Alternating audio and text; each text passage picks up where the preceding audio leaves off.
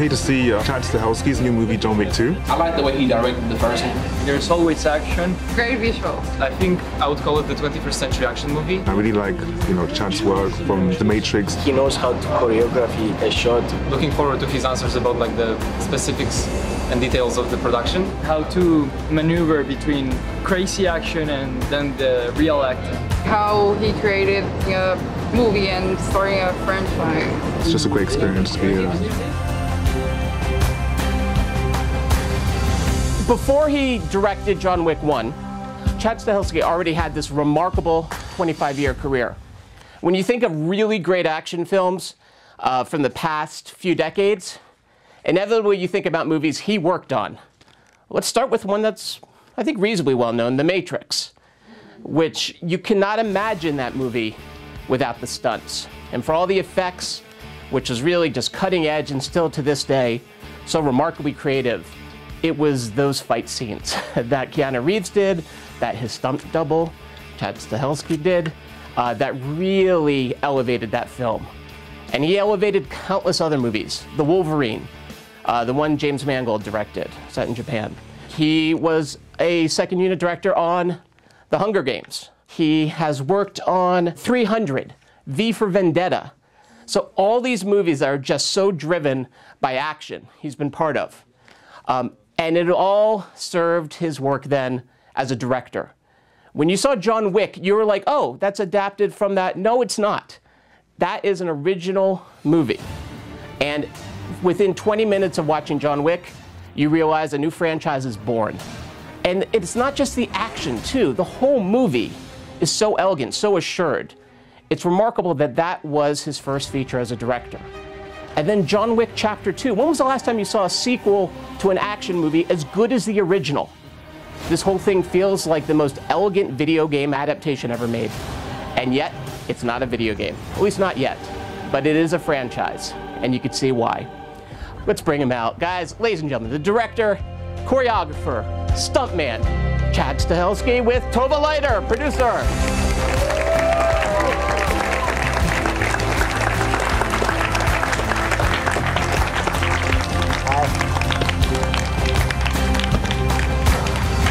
My God. You survived. Wow, everybody's a student, huh? All right. Stay in school. I mean, it really was one of the most spectacular action picture, non-stop. The backgrounds, you know, the elegant backgrounds with the brutal action against it, you know, unbelievable. He didn't even mention half of your credit. When I, I was looking at IMDb Pro, checking your credits, it's uh-huh. like every cool stunt movie, you somehow there, you know. No one else is available. I have a question for you. The Brad Pitt, Angelina Jolie, Mr. and Mr. Smith utility stunt. What is utility stunt? That's when they can't find anybody else. um, no, uh, stunts have a lot of different ways. You can be a stunt double, you can be a choreographer, you can be. um sometimes they don't have a name for it. Sometimes you can something they call ND or nondescript. If you see a guy getting hit by a car in the background, that's an ND stunt. See all the army men dying? All those guys are ND stuntmen. I see. A utility stunt is somebody that jumps from job to job. I might be a double, I might be this, or I might be one of the choreographers. I see. On that show, I was one of the choreographers. We helped train Angelina Jolie. It was a great Thanks. sequence Oh, of yeah. choreography there. So let's start with how did you start in the business? I'm from Massachusetts, East Coast as well. Um, decided to go to school at USC at the time because geographically it was about the furthest place I could get into that was away from snow. uh, at the time, I was uh, uh, I was very heavy into martial arts. Uh, my parents were athletes, so I got into it. At the time, remember this is way long ago, where martial arts weren't cool. Right. Like you didn't really get a date if you did karate. you know, the UFC wasn't around yet, and Jackie Chan wasn't known yet. And if you knew about Bruce Lee, you really didn't go on a date. so, yeah, that was my kind of gig. And as I was going to school, um, I was competing, and a stunt coordinator was in the audience. He saw me compete and said, "Well, you might make a good stunt guy." So they had me double uh, Kris Kristofferson on a, like a million dollar movie. Kris Kristofferson used to be a good. Yes, wait a second. that was a long time ago, and that Yeah. was probably in 1990. And then uh, I just got into the business through them, and um, I was doing a lot of TV work at the time. And my boss came to me one day, and I just got hit by a car, so I wasn't really seeing things right. And he said, "Hey, look, they're they're auditioning stunt guys who have a certain skill set." For this guy, Keanu Reeves, you know anything about him? I was like, ah, I don't know. I, you know, I saw him in that Bill and Ted's movie. Yeah. So I went and auditioned, and the movie ended up being The Matrix. And I passed all the auditions. And then uh, I was with the Wachowskis and Yuen Woo-ping, who's one of the best martial art choreographers on the planet uh, from Crouching Tiger fame. Got to know Keanu, and we spent the next eight years making the Matrix trilogy. And through that, um, the Wachowskis took me under their wing. Uh, most of what I know about filmmaking really came from them, and they really are genius filmmakers if you look at the way they uh, compose and, and detail and create worlds.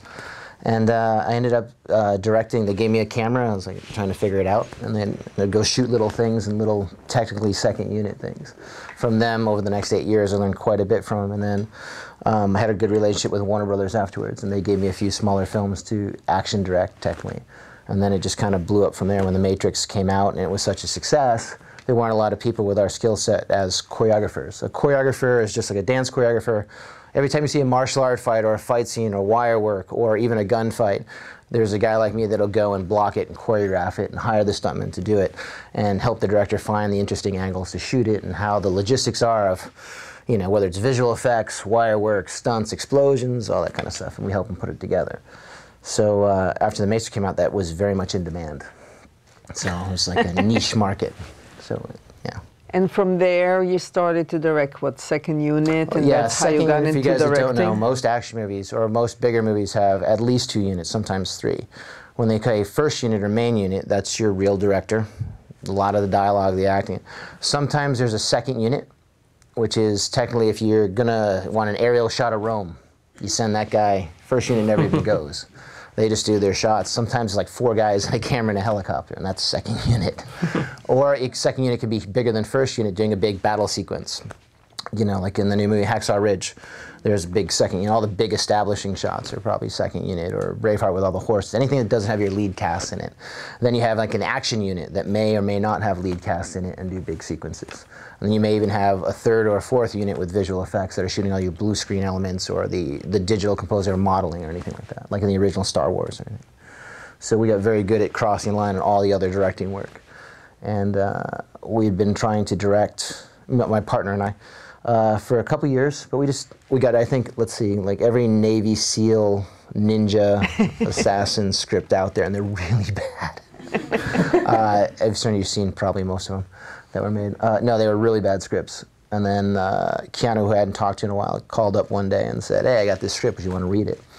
And I read it, and John Wick was, let's see, he was 65 years old. His dog was a German Shepherd. His wife died when she was 50, and it all took place in New Jersey.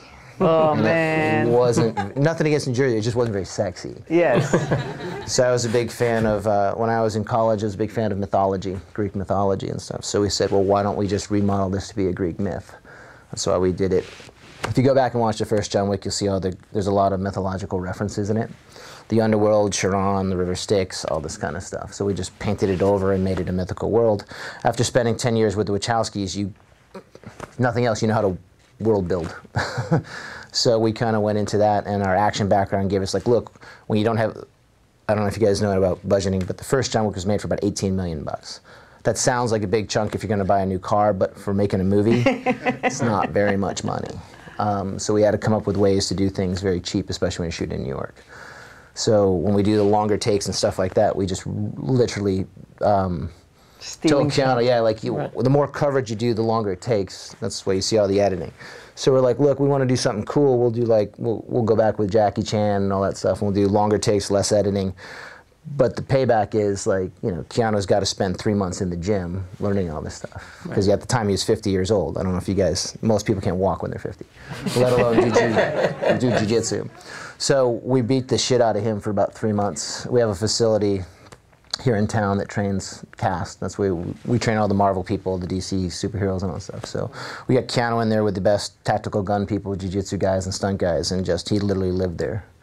And that's how we. And you uh, were his stunt double. That's where I'm So- going to move into. I was a stunt double. And you were a stunt double, so all of a sudden, like instead of being his stunt double, you're directing. So it's basically like, hey, Keanu, sorry, buddy. Yeah, this I'm one's on now. you. Yeah, that was when I was younger. He's got a very good stunt double now. One of our guys. That's a lot younger than I am. Could you talk a little bit about uh, you were second unit director on uh, Civil War, uh, right? Could you talk a little bit about what work you did as second unit director for, for a film that's that? Sure, we, we have a very, most directors don't jump back and forth. Uh, my partner Dave Leitch, Dave's directing the new Deadpool Right. as well. He was my co-director on John Wick. and uh, Atomic Blonde is that him, Yeah, and, uh, as well? Charlize Theron's was originally Yeah. called Coldest City. It's coming out um, in July, I think. Mm-hmm. Is what the release date is. Um, we have a company called 8711. We're a one-of-a-kind company that pretty much we call it it's action design. You can hand us a script or you hand us a sequence and we write it and we design it and we bring it to fruition rather than just writing something that can't be achieved or can be achieved for an extra hundred million dollars. We work with the producers, the directors, and everything, and actually build an action sequence. And hopefully employing, just like, you know, a couple years ago, the X Games were new, snowboarding was new, the MMA was new. Now you cut to what's new tomorrow, not what mm-hmm. they're trying to do today. So studios will come to us a lot and have us design a new sequence. So the Russos are kind of friends of ours from the commercial days, mm-hmm. people that we had known and really, really dug, and they had just saw John Wick, and they were like, "Oh my God, can you help us with Spider-Man?" And we're like, "Yeah, sure, that'd be great." So we helped design the, the Captain America and Bucky stuff in Civil War, and we helped design the airport sequence, and that's the sequence we shot. The uh, airport and when- uh, sequence with all the, Right. the actual Civil War part. and the staircase scene, uh, which if you guys remember Civil War, that scene, I mean, it, it feels like that could Yeah. have actually been in John Wick. Yeah, same guys. Um, yeah, so no, it's fun. Part of I think why we got such the education we did, or the background we did, is you coming up. You work with Wachowski, you work with Fincher, we did Zack Snyder, we did um, worked a lot with um, Guy Ritchie. Um, I mean, just that alone is you know. On second unit jobs, I got to direct Robert De Niro, I got to do Hugh Jackman, I got to do Tom Hardy, I got like you know these are just. So by the time you go to film school like that, you've directed, you've worked with lead cast, you've worked with some of the best directors on the planet. If you pay attention, not just to you know where to put the camera, but how to run the business, how to budget, and how to spend the money they give you, you can be fairly efficient, and that's kind of the best film school you could ever go to. Sure. You know, so very fortunate. So, um, how much do directors in general know about stunt work? And if they don't, is there a way to explain it to them, or you just go and say, "Trust me," or they say, Um, you got to remember where directors come from. Um, you know, back in the, back in the day, they could have been artists or photographers or poets or writers or novelists. Like it, it, they're very well versed in a in a broad sense of education. Now you can have a music video director.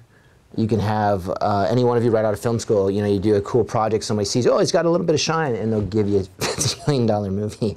Okay, um, and there's guys that come from production design that are directors. Uh, stunt guy uh, you know, visual effects supervisors. So you don't really know if, if they've come from an onset or in the trenches background. They probably have an inkling of at least what a good stunt or bad stunt is, or what an action design may look like. Most of the the problems with action design is tone. Like what kind of most directors don't know tone. That's where most of the, the cleanup jobs we have to go in and fix are our tone. Is like that's why sometimes you watch a movie and it'll be kind of funny, kind of weird, kind of serious, kind of because the guy's kind of he's all over the place. He's like, well, you know, we always want to answer, okay, so what do you want out of your movie? And they'll go, well, you know that scene in Captain America, we're gonna do that, but then we're gonna do Bourne, but then we want the scene where it's like, you know, American History X, and then, but it's a little Buster Keaton. And I'm like, wow, that's a hell of a movie, dude. um, so if you don't know what your movie is, you're gonna have a problem, Sure. you know, totally through the action as well. Like, um, like you brought up earlier, like John Wick, it is brutal, it is violent, just because of the way we chose to shoot it, because it's it's connective. It's not like the typical gunfight where you, you do a single on the guy shooting and you reverse and you see the guy falling down. It is connected, and in order to do that. That's in close proximity. Intimacy always brings more emotional content to it, but that kind of ties into what tone is, and that's what you have to explain. Right. So if you can get that but back to your question, different directors come from different backgrounds. Some are very versed, some are not. The best thing I can say to anybody here that wants to be a director is it should never be the way it is kind of in Hollywood today. That's kind of the biggest thing. Like the, I shouldn't say that's why I have so many houses right now. Um, I don't. I only have one, but it's really big. Um, it's mostly because they come in and they think, oh, well, Chad's the action guy, or Bob's the action guy, or Scott's the action. So I'm just going to go eat lunch. That's the worst attitude you can have. How many movies have you recently watched where it just becomes a gunfight or just becomes a fight scene and it's the obligatory third act, I gotta beat up the giant robot?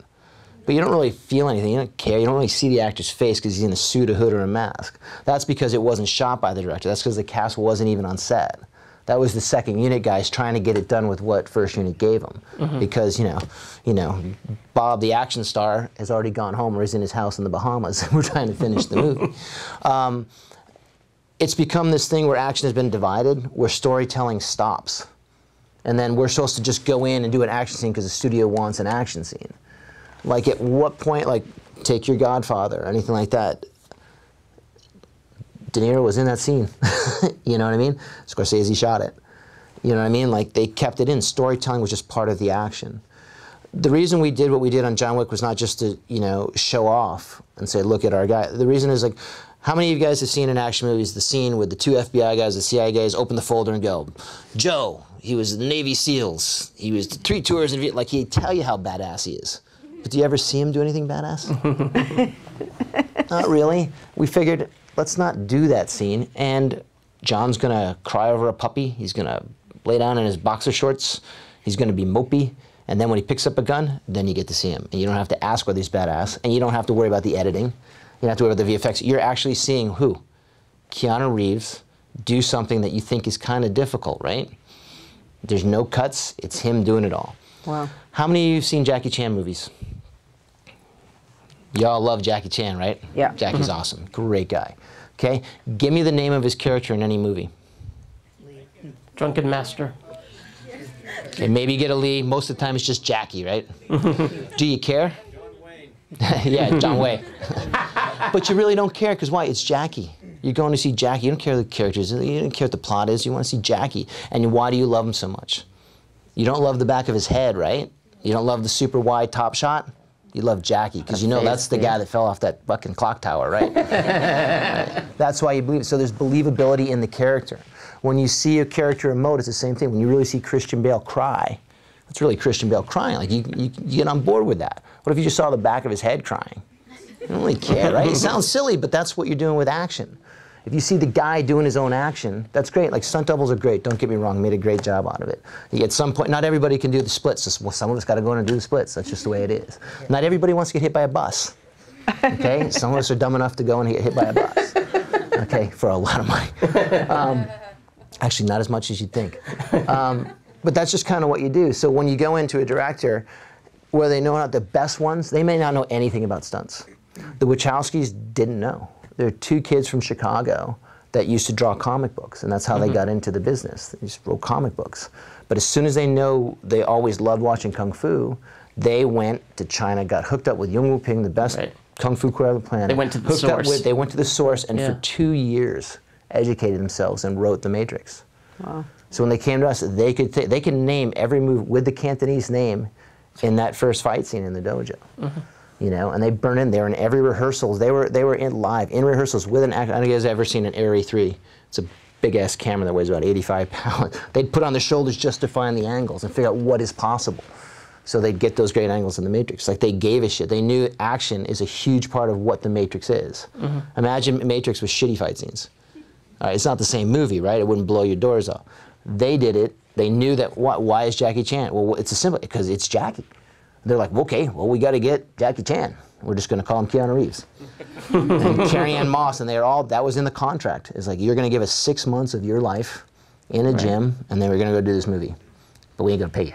But it's going to be a great movie. Right. and that takes a lot from a cast member to do. So kudos to Keanu and the rest of the cast. But tho- that's that's directing. Sure. If you're going to do a movie about you know horse racing, learn about horse racing. You're going to do a movie about boxing, learn about boxing. Don't divide it up. Storytelling is storytelling. And one thing I feel like both John Wick, John Wick 2, but then also a lot of the movies you've worked on in the past, a lot of this action you've directed and, and performed in, I feel like there's such a great clarity in this. Like, I don't know, how, one thing that drives me nuts as an audience member is you watch an action scene and you have no idea what's going on. And I don't want to make fun of Transformers, but I'm going to make fun of Transformers because I have no idea what I'm looking at when I see that film. I consider myself relatively intelligent, but this, I feel like we always understood spatially, sort Sure. of the choreography. I mean, I feel like that is such a wonderful skill It's, that you've um, brought to your films. Yeah, I was Again, sometimes I- at the edge of my seat, Yeah, really, yeah, and yeah. kind of nervous. Thanks. It's a directing style. It's, it's not really us. We copied stuff from the 70s. 60s and 70s, and obviously, you know, we have a huge influence with um, Sergio Leone, Bernardo Bertolucci, Andrei Tarkovsky, um, all framing and composition you probably recognize in there. The Wachowskis are obviously huge. Um, but you gotta remember why editing exists.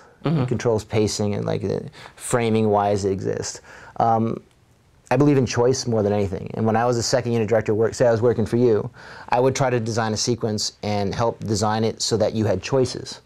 Meaning, I'm trying to get the actor to do as much as you can in an environment like any of us can walk into this room. Do you want to see depth, or do you want to look into an exit scene? Okay, well that's kind of an uglier background. That's kind of cool with all you guys, but now I got to fill it with exit. Like so, you try to give the director choices about how to spin the choreography, how to make the guys move. Um, I believe that editing should be a creative choice. I believe framing and shot should be a creative choice.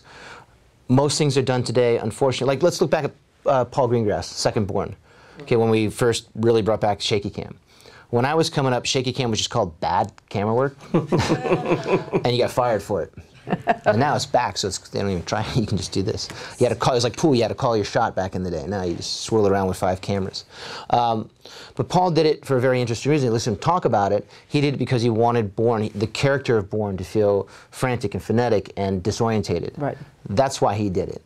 And if you go back and watch the second Bourne, it's not super kooky. It's just kinetic. Right. And you get that. He put the pulse in it. He wanted to infuse pace in something. That Right, and didn't still really very have it. clear, though, when you it's watch still, it. It is, and Totally. that's what I could. I think that's a great use of handheld. That's a great use of more ballistic editing, even when you're crossing the line and, and doing things like that. Um, unfortunately, that's become a time-saving technique. Uh, I'm sure you guys know time is money in the film industry. You have a 12-hour day. Some directors average three setups a day. Some can get as many as 50 you're judged by your setups. Setups mean coverage. Coverage means you have to time man. Time management is probably the best logistical skill a director can have because you know you don't want to spend two hours shooting this guy's close up and then 20 minutes on your close up when it's you know Brad Pitt. You might, you're going to get yelled at for that. But when you go through it, it's like you know it's become a way to hide instead of a way to show. Like a bandage. You're Yeah. like if you want to put a big 10 millimeter down here and I want to see the room, I want to see all of you, okay? And say each one of you is 300 bucks a pop for a background player, but I got four dollars. All right, now I have to digitally put like, okay, so maybe I'm going to lift it up top shot and just you, or I'm going to shoot through these. Now I'm trying to hide what I don't have, which is fine. It's a very intelligent way to, to make movies for a budget. But when everything becomes, well, you're hiding to hide a stunt double. So you guys know if it's stunt, you, over the shoulders are usually doubles or anything like that. Or a big top shot, that's usually a double. if you're shooting through fire, it's probably a double. or if the superhero's got a mask, that's a stunt double. Um, I'm giving away all these things. Um, so say, okay, now I got a stunt double, I got to hide the wires. The actor only knows three moves on the other side. Okay, you know how happens you have two stunt doubles, so you can't, like, which side do you, well, you don't. You got to shoot a or something so wide you can't tell what's going on. So you need at least one actor in there Right. Right? So now you're later low show, but say the guy's a lefty and he's got the sword in his right hand, and no one thought to train with right hand, and he trained for about six hours, and he's supposed to be El Cid. You know, like that's not gonna go well. So they're gonna get two hand inserts that clicking like this. So where do you think, before you've even stepped on set and broken out a camera, where's that sequence gone? How much choice do I really have as a director? Now I'm solving a problem. I'm not shooting creative, I'm solving problems. I get to set, I haven't rehearsed, I haven't seen the location before. The, because I didn't pay attention in the design phase of the set, they put the ceiling at about six feet. Well, my actors are seven feet tall. Swords, I don't know if you've seen a sword before, but it's a three feet of steel. So I can't uh, stab the ceiling. so now I'm kneeling down trying to cheat. Like again, it becomes more about problem solving and hiding issues. Right. I got to cut fast because I don't have more than three moves in a fight scene. You know, I didn't get the good guns, so I, I got guns with blanks, and I don't know if you've ever seen a real blank fire. It's about 15 feet minimal without hurting somebody on a regular blank.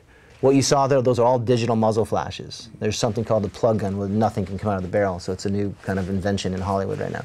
Um, but without tools and proper prep, like you have to make decisions three, four months out before you roll the camera, before you even step on set. If you do that and carry your path through and get everybody involved, if I don't tell my DP, my cinematographer, that I'm going to shoot wide and do one long shot through catacombs, like we're, you understand, like the wider the shot, the more pissed off your cinematographer gets because he's got to get the lighting in there. Okay, so what happens? So he's trying to make a pretty picture, but you need to see a big sword fight. He didn't know. You didn't tell him until like the day before, so he's freaking out. He doesn't know how to mm-hmm. light it. That's why you see so many lights in our shots. We just made him part of the set. We're like, ah, fuck it. You know? But it was part of the plan. And now we have an actor that's trained for six months. Now, not just an actor, we have all our actors trained, so I don't have to do overs. I can do profiles, and I can see both. You can see Common and Keanu doing this thing, or Ruby Rose and Keanu doing this thing. If you make those decisions early and you plan it, and you get everybody your cinematographer, your wardrobe, okay, wardrobe.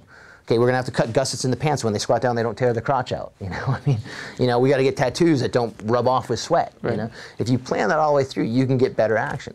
It's just like planning any other sequence. That's your mise en scène. That's your that's your plan. If you have a plan, you make a commitment to that plan and get your crew. Because remember, how many of you can sing, dance, or a musician, paint, anything? Arti- that's a singular artistic endeavor, right? Feels good. I, am so jealous of you all. I wish I could pick up a brush or pick up a microphone or pick up an instrument and just play. Then it goes from me to you. You know how many people minimal you have between me and that movie? Uh-huh. I'm being really conservative, about 500. About 100 of them can make a direct impact on me. And I'm not even counting the studio. I'm not even counting the money people who can just, at a whim, go, it's our money, we're going to have them in blue. Okay, I'm talking the entire cast has an effect on my movie. The DP has an effect. My editor has an effect. The VFX. What if my VFX guy doesn't budget right and I'm short? Now it's all the blood shitty. It looks like jelly or something. you're gonna laugh at my movie. You're not supposed to laugh at that point. You know, so I have to be a communicator. I have to somehow get everybody on board with me. How I'm gonna make this thing. And that's only done through just, you gotta bash them over the head with everything you can, with passion, with endeavor, with photos, with, you know, inflection, with rehearsals. You gotta walk them through locations, you gotta get it, you gotta communicate your vision to get there. And that's where so many other, I think, directors or projects have issues, mm-hmm. is they don't understand that from the beginning. So by the time they'll bring in a stunt coordinator or somebody like that, you're already knee deep in it. Decisions have already, sets have already been built, actors have already been cast, deals have already been made. And you know, if you got Brad Pitt that's making 20 million a picture, he's got to make three pictures a year because he's supporting 19 houses. you can't go in and go, okay, well you're gonna do, you're gonna be the best, you're gonna be the best, I don't know, say Robin Hood of all time. You're gonna be the best sword fight archery guy. But we need three months of your time. He's like, three months, three months, I can make another 20 million dollars. There's no way I'm doing this. like the business of Hollywood does affect it. And you have to know that because that will affect your movie and your mm-hmm. action. If you're clever with all these things and you're solving problems as you go, you can usually get what you want. You know, if you want to bake a chocolate chip cookie, you got to go get the chocolate chips. It's hard to get done all the way in. You bake the cookie and go, ah, fuck, I forgot the chocolate chips. And then bitch about why you didn't get the chocolate chips. You know, you kind of kind of got to plan it. I, sorry, I got more of a layman's term of directing. But now we know how to make chocolate chip cookies too. We should open up Yep. for the students. Hi. Hey, my name is Maurice. Hi. My question is quite long. So, uh, what's the most challenging part when directing a film that's heavily filled with stunts? And which scene was the most difficult to film? Let's go in reverse. Uh, the mirror room, just logistically. And I only mean that because uh, no one knew what the hell I was talking about when I pitched it. I'm a huge uh, Bruce Lee Shanghai? fan, so that was my tribute to Enter the Dragon.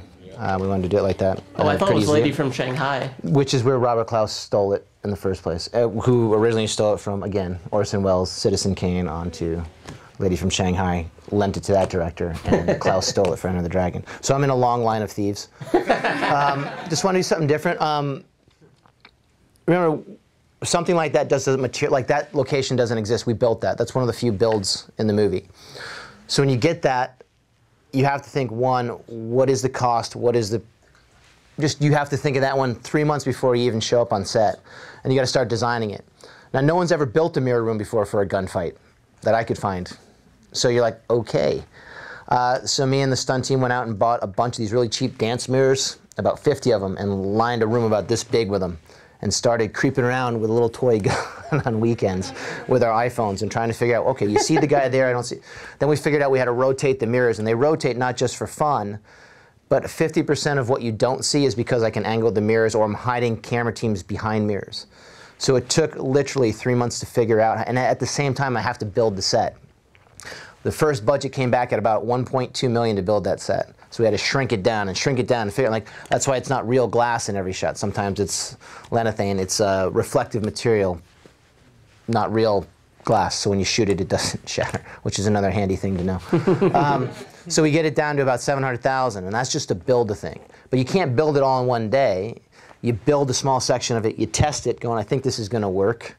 Then they build another piece, or you have to tear it down and rebuild it as you go. And then now you're in there. Now where do I hide a 50-person crew, five stunt guys, and still get my camera out? Okay, well that goes to VFX.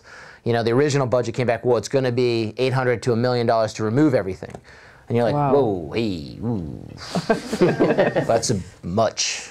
So you got to figure out, okay, well, screw it. We'll have to figure out how to do it practically. And then it's back to the with the stunt guys and little mirrors in your iPhones, thinking, well, if the mirror moves, if I do this, if I put the camera guy low and shoot Keanu up high, it'll hide.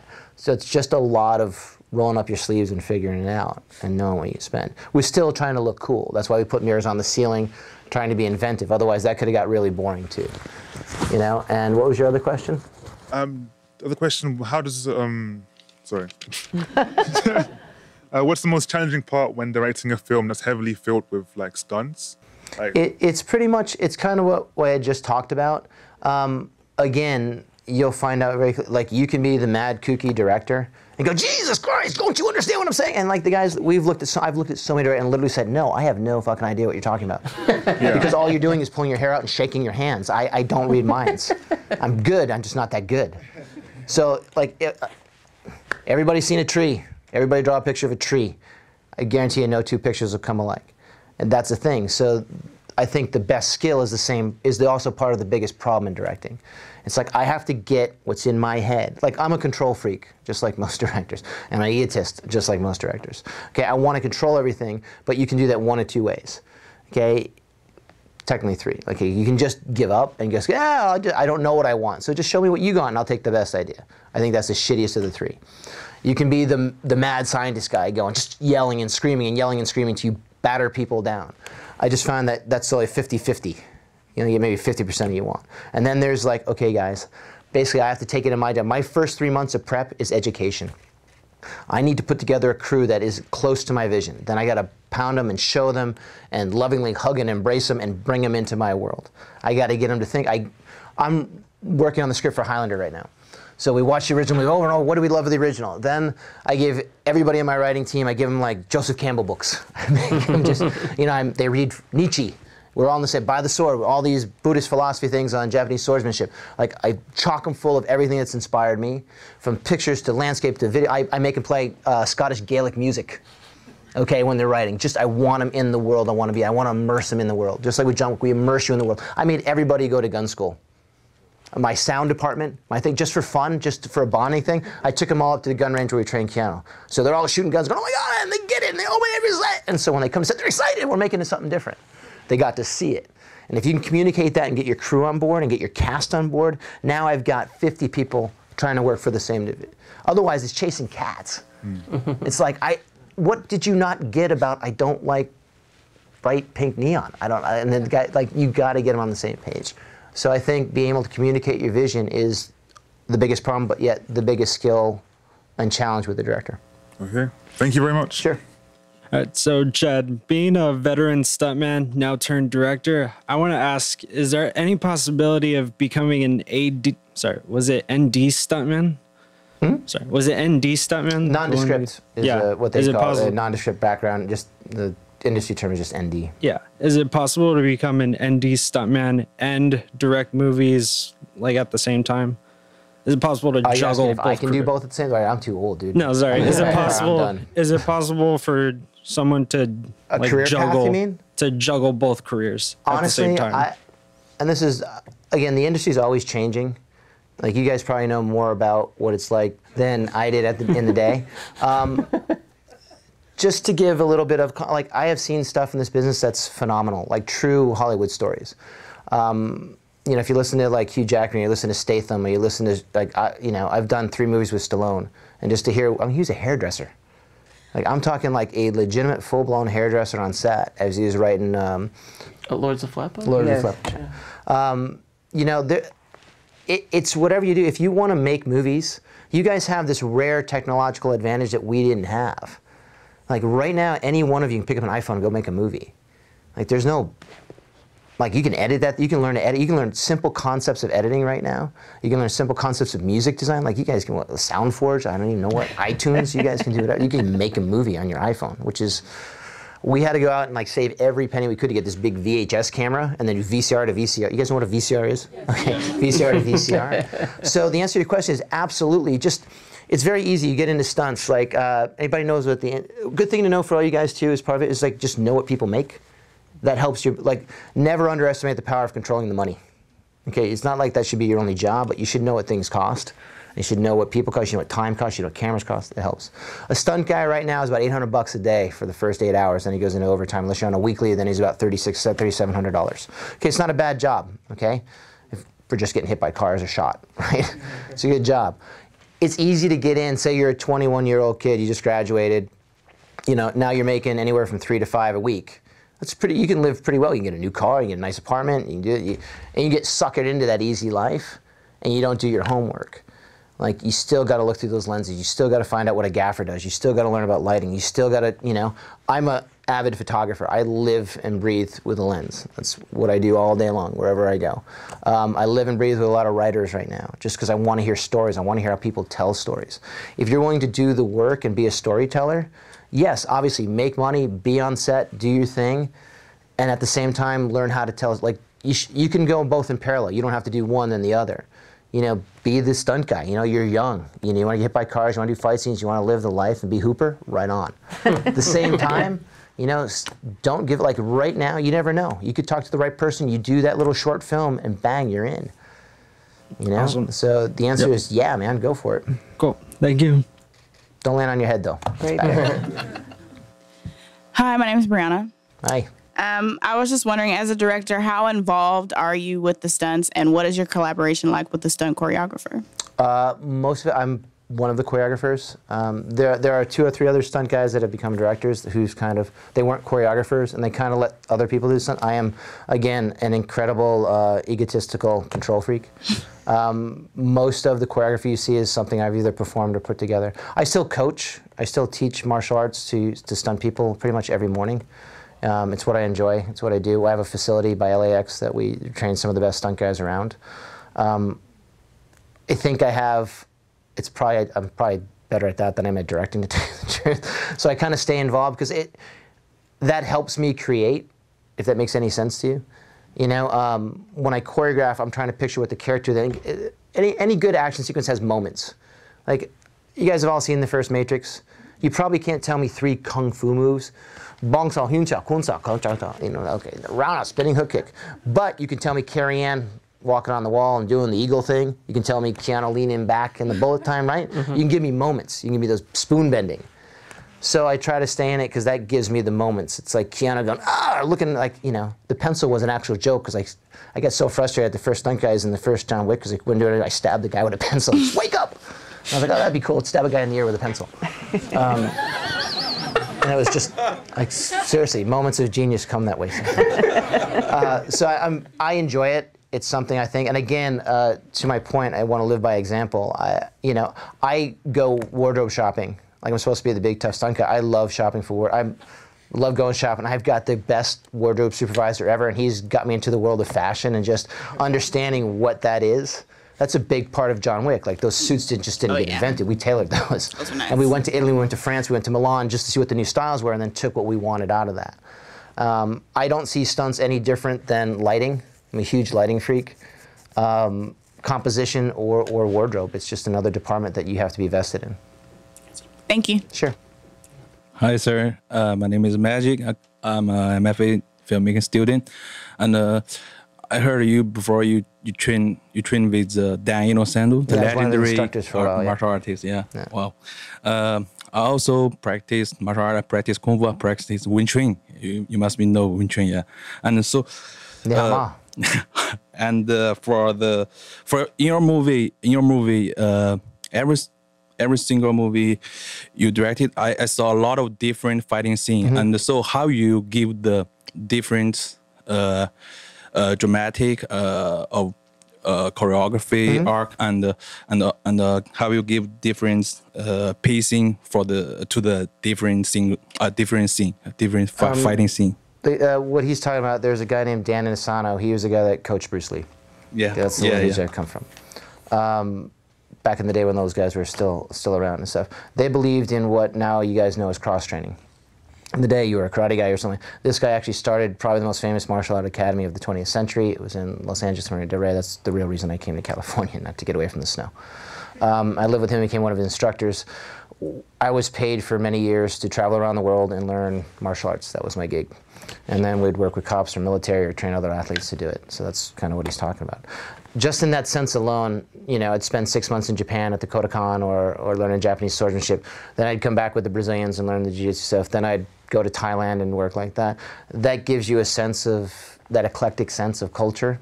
And it also gives you uh, in, a, in a weird way, the more you travel around the world, the more you, you see different things. Like, you know, you read the script, and if the script happens, okay, it's Jackie Chan in Las Vegas. Okay, well, yeah, you could do Wing Chun. You could, it depends on the character, and you can build the character on a martial art, or you can take the character. Usually, in the West, we do it a little differently than Asia. You can Mm. find, you know, Jet Li in a wushu center, Yeah. and you can build movies and so on, build a whole career on this guy. Like Michelle Yeoh, she was Miss Malaysia, and she ended up being, you know, she's a girl from Bond and Super Cop and all that. Um, you know, in the West, like when we met Hugh Jackman for Wolverine, he moves a certain way, so that would be this. When we met Statham, he's more of a slugger and about, so he would be this. Stallone would be a wrestler. We, we have to design slightly differently at here. So having all the different models, like a good choreographer could take any one of you and make you John Wick in a week. Maybe not to the extent, but like that's our job. Like uh, in Asia, you would find a world champion wushu, kung fu, martial artist, and then train him to act. We're, we're the opposite. We find the actors, and it's our job to get Charlize Theron or Angelina Jolie to go. Like women are always a challenge. To me, I want to do a great female action movie. That would be that's my career goal right now. Right. Thank you. Uh, written by a woman, performed by a woman, done by we we want to see it. That's that's so. If any of you got scripts with a female character, Well, Um, Atomic Blonde looks great. like it might be that. it's close. It's still. uh, mm, we'll get to that. Um, we hope. I hope it does really well. It's my partner's movie. I hope it does really well. Uh, but you can't like any woman here. I think like if I did, say, just I'm going to talk total nerd for a sec. If I took, say, any of our young ladies right here, okay, I'm probably not going to do wushu. I'm not going to do bagua. I'm not going to do wing chun. I'm probably not. I have to make them believable to beat up a six foot tall. How many times have you ever seen a female star beat up a couple dudes and you bought it? It's hard to do. It's really hard. Maybe you get a little Angelina Jolie. Maybe you get Scarlett. Jan- By the way, my wife is Scarlett Johansson's stunt double, so that's my wife. Whoa. She's currently in Scotland on Avengers 3. yeah, so she's great. Um, so if you see Scarlett move good, it's my wife. Um, but that's tricky. That is probably the most difficult thing out there is to make a believable female action star good. But in Japanese, like you teach them how to hit to the throat or bend a finger, like you choreograph around them to give it character, and through that and the cast member, how you develop that style and how you how they hold the gun or what gun you choose. If I give one of these girls like an M60 that's this big, you're probably not gonna believe it. I give them this little Walther PPK and I make them do everything really covert, you're probably gonna believe it. So that's the magic of taking a martial art and matching it to a character, or making a new character like John Wick or something like that. Cool. Uh, and I, I also saw the, the, the mirror scene, the mirror Mhm. scene. So I, I I can I can feel you you pay a tribute to to the Enter the Drag Enter the Dragon of I Bruce Lee. tried. Yeah. I yeah. so but uh, but but your camera move is more you know actually is more hard, I more had- difficult than than yeah, I had Enter more money and I had some visual effects help that probably Oh. Robert Clouse didn't have. they couldn't remove it digitally back then. yeah, you know? back then they had to be. They didn't have the resources I had, so I can't take full credit. Okay, thank you. You're welcome. I would love to see you try to turn me into John Wick in one week, though. Sometimes two. Two. Uh, two No, years, guaran- no guarantees. Uh, thank you for being here. And uh, my name is Lun. I'm an action movie actor, and so what I want to ask you are all about and just about action movie. Mm-hmm. And first, uh, my first question is how uh, how did you avoid injury as a stunt performer? And my second question is how do you protect other stunt guy as a uh, stunt coordinator or director? Um, just to paint the picture of the world, it's gotten, um, when I started, it was probably 100% better than the 10 years before than I started. Now it's probably 200% better than when I started. To answer your first question, I didn't. Um, to date, I have 13 surgeries under my belt. Um, I've had over a thousand stitches, uh, broken my back, my neck, both arms, both shoulders, both knees, ankle, and uh, my hip. my face has been reconstructed twice. Um, on the first Matrix, I broke everything in my right side. Um, so I didn't. So that's the answer to that one. Um, I got bitten by a dog once. There's. Uh, that's why you Big see, dog. like, I don't sit still, and that's because things start hurting. Um, but that's again, I was in the top five percent of stunt doubles at the time. I was actively performing nearly every day or every other day on high-end martial art shows. And at the time, uh, you know, what we guys when we call rigging or wire work. Before wire removal, they did it on piano wire. So the stunt guys were very small, very light. They had to be, otherwise, a piano operator. Um, when you're figuring and you're doing high-end ratchets or what we call wire work, or when you see a guy gets yanked back or they fly, that's wire work. At the time, the systems weren't quite developed, so you kind of had a better than average chance of coming out okay. But when you're doing from there about 80 feet in the air and 200 feet that way, doesn't always work out well. Sometimes the math is a little off. Okay, nowadays it's gotten to the point where uh, when I started, maybe there were three or four deaths a year, and it's usually it all goes back to human error, or people just being really either ignorant or just fucking dumb. Um, someone should have said, "This isn't a great idea," or they didn't rehearse it properly. You know, doing a rehearsal in a gym is one thing. Doing it out on location with explosions, with stuff, and every all the factors are different. And it's it. You know, I was on the set of The Crow. I was on the set of The Expendables. I've witnessed two fatalities, um, and it's always down to the same thing. It's let's hurry up and go. Don't worry, it's a lot of yes men going. Oh all right, we got no time. If you'd had time, if they had had time, if they had like another three hours to go, no one would have said go. They all would have said, yeah, this is dumb. But because you gotta go, we gotta go, let's go, we gotta go, we gotta go. And everyone goes, yeah, yeah, we gotta go. You know, will be okay? Yeah, it should be okay, let's go. And like, you get a bunch of, like a person is smart, people are dumb. You ever hear that expression? Like, you get a group of really smart people together, but they're all tired and they all gotta go and they wanna make it happen. That's when dumb decisions get made. And every time I can try, when, I, when I've been hurt, a lot of times it's me being like, I can, you know, I'm trying to go into ego stunt guy. I'm a tough guy, I can do it. I should had no business getting up on that thing. I should have tested the rig and done it. Man, we should have done three or four more tests. I'm like, no, we got it. Let's just go. I can do it. I can make it. And that's the next thing. My legs turned around backwards. And believe me, it's not like the movies. Literally, where you get up and go, yeah, and you spit and you wipe the blood off. I cried and peed my pants, and then I went to the hospital. Um, so yeah, that wasn't cool. but it's so much better now. Nowadays, honestly, because my wife is still a performer, um, and I'm ultra protective of her and the stunt team she works with. Uh, most of the time, it's just our stunt team now. But the rigging capabilities, the safety precautions, the entire industry's come a long way. Like you know, back in the '80s, to do two lines of coke, go party, coke and hookers, woo! Um, that doesn't exist in the industry right now. Like stuntmen are all professional athletes that are usually in bed by nine because of competition. If I told you right now, just be really good, listen to what I say, and you can make half a million dollars, you're probably going to go to bed. Or, smart, smart ones will make it. You know, will go to bed early. Stop. They're not going to chase girls around. They're not going to do drugs. They're not going to drink. They're going to go work out in the gym. Like it's a whole different attitude nowadays. It's very, very, very professional, and everybody's very, very into being safe.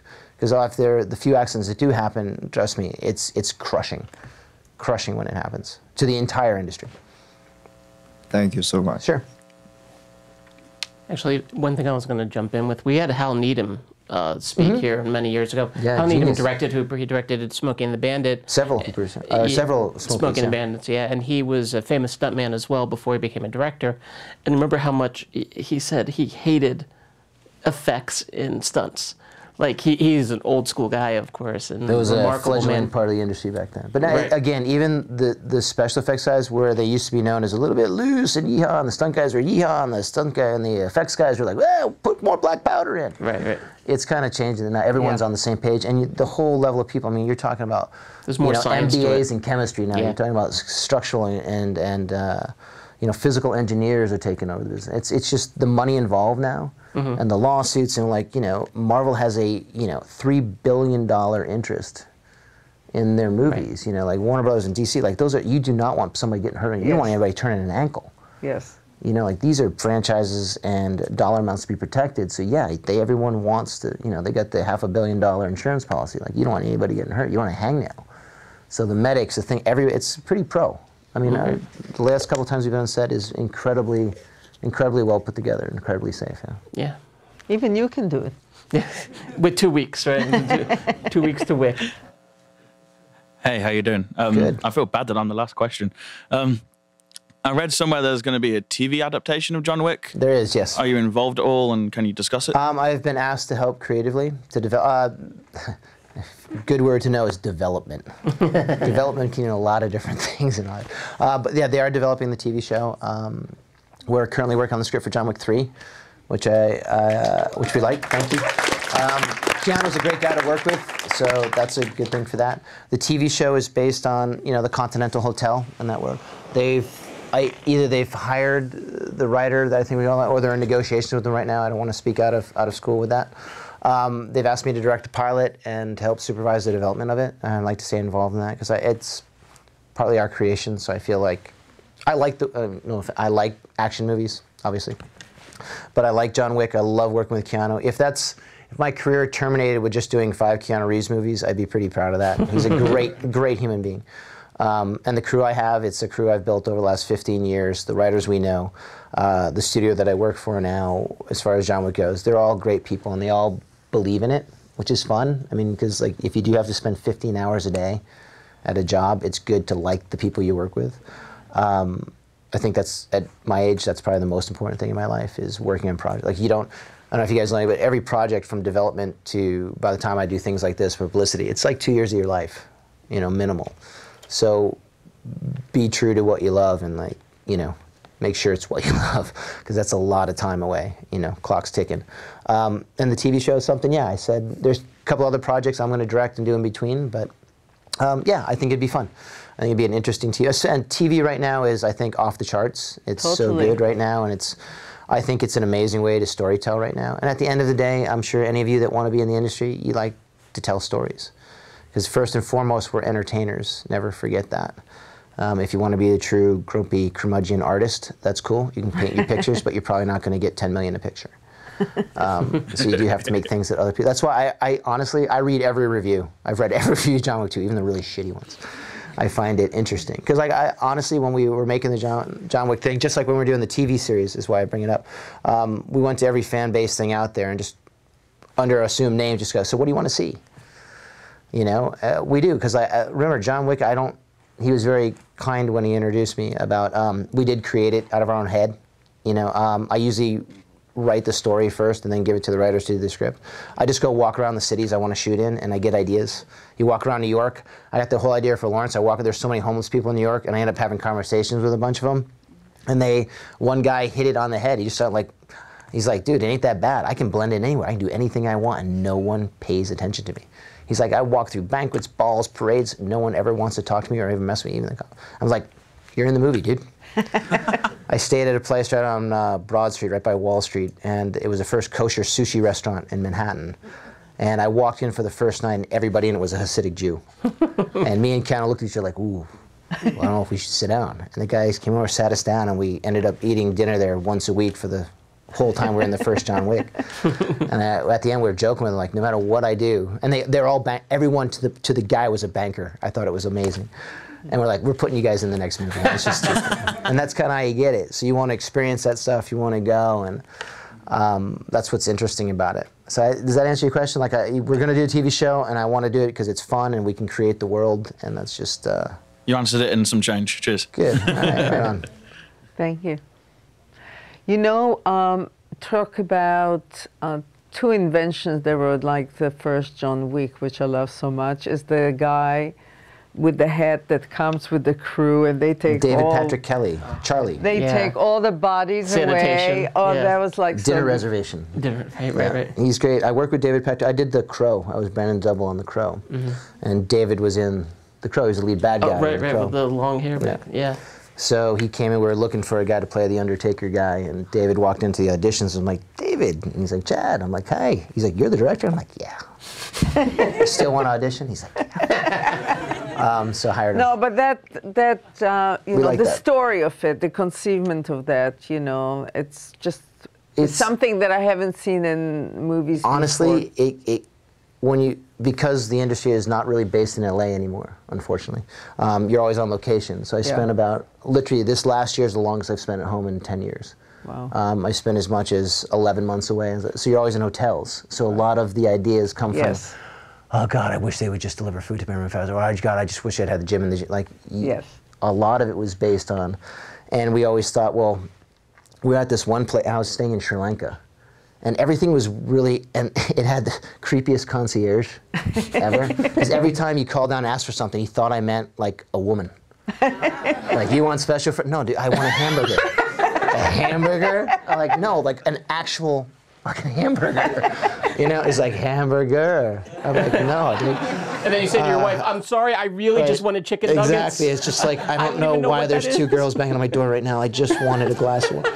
Um, so we kind of took that. Well, we'll speak in code. We'll say, look, Yeah. if John Wick wants to make a dinner reservation, we'll have him just count out six coins, and that'll be six bodies. And so we took all these ideas and kind of just twisted them a little bit. Yeah, and the But they're whole all- continental thing, the hotel Yeah. and Yeah. the whole lounge. The world building, that was That's- terrific. That was Thanks. really Uh, again, very- based on Greek mythology and a, a shitload of time in hotels. Um, the honestly. combination. Really, I, really, I wish I had some genius like insight into how we came up with it, but it was just like we tried to make. Dave and I tried to make a movie that was fun. We just wanted an action movie where everyone's in on the joke, but the people in the movie. Mm-hmm. Like when you start a movie, like everybody saw Buster Keaton in there. Okay, that's from Sherlock Jr. Oh my God, which is one of the yes. best, I think, all-time stunts. Like those guys who actually did the stuff back then. That's a cue to you get. Like in the first movie, everybody wore red shirts that got shot. You guys got that from Star Trek. Mm. Okay, right. Okay. There's a lot of gags in this one that you see in other action movies, and we just wanted to like want you to know from the first frame to the last frame that you know it's a fun movie, and hopefully you got like anybody does classical music here. Okay, did you pick out Haydn? Did you get Vivaldi? Vivaldi at the end. Vivaldi at the end. We took out the percussion and actually choreographed the entire fight to add percussion into Vivaldi Summer with the gunshots. No one will probably ever get that, but that's my little artistic tribute to action movies. beside all the fantastic buildings in this one, really. I mean, Rome and the museums, Mm. and you know, um, in New York and um, the whole stuff initially. It was visually really, really stunning and um, an incredible fodder for the action, the kinetic action. They call it the wrapping. You can do cool action, but it's always cooler to see cool action against a cool. Yes. Um, I'm a big fan of the old Bonds.